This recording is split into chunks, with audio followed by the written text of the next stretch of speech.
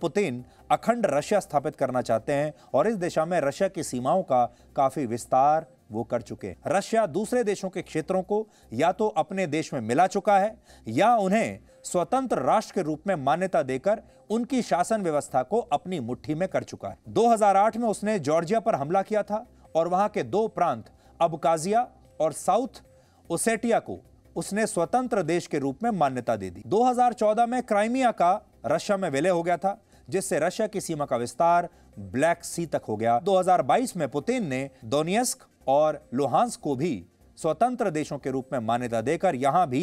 अपनी जड़ें मजबूत कर ली हैं बेलारूस के राष्ट्रपति तो पहले ही घोषणा कर चुके हैं कि सही समय आने पर वो बेलारूस का रशिया में विलय कर देंगे यानी रशिया चारों दिशाओं में अपना अपनी सीमाओं का विस्तार कर रहा है और पुतिन अखंड रशिया के टेम्पलेट पर इस समय काम कर रहे हैं